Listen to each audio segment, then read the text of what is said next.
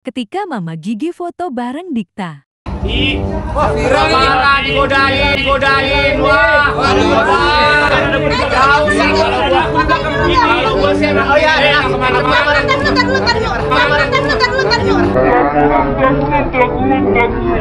Gue sih milih Dikta ya kalau Jauh lah anjing, Kalau gue sih milih Dikta ya kalau jauh gua. lah anjing, kenapa, gua jadi cewek.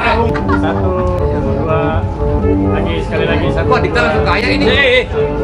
Di belakang nih gua. Kata gua mah, Eli.